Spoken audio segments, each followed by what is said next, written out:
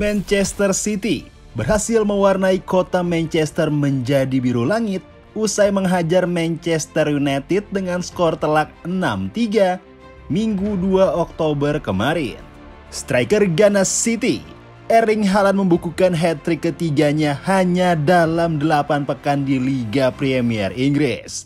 Disusul dengan Phil Foden yang tak mau ketinggalan dan mencetak trigolnya sendiri dibantai 4-0 di babak pertama.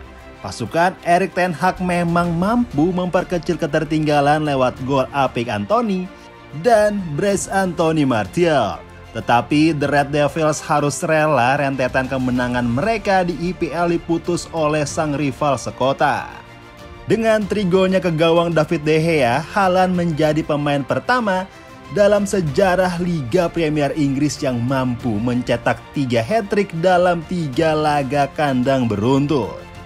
Rekan timnya Phil Foden juga nggak kalah mentereng. Lewat gol pertamanya, Phil Foden menjadi pemain termuda dengan 22 tahun 127 hari yang mampu mencetak 50 gol di bawah kepelatihan Pep Guardiola menyalip Lionel Messi yang dahulu berusia 22 tahun 164 hari. Kini Foden telah membukukan gol ke-51 dan 52 di bawah mantan pelatih Barcelona tersebut. Sebelum derby Manchester 2 Oktober 2022 memang hanya dua pemain The Citizen yang mampu mencetak hat-trick ke gawang MU.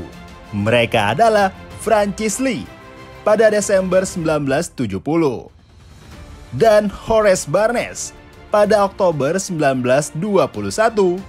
Kini catatan tersebut naik dua kali lipat setelah Haaland dan Foden mengemas trigolnya masing-masing. Derby Manchester yang berakhir dengan skor 6-3 ini menjadi derby Manchester paling produktif di kompetisi mana pun. Yang juga menjadi pertemuan ke-187 kedua tim. Kini Manchester City miliki pemain top skor dan top assist di Premier League. Haaland sudah mengemas 17 gol dan kompatriotnya Kevin De Bruyne dengan 10 assist.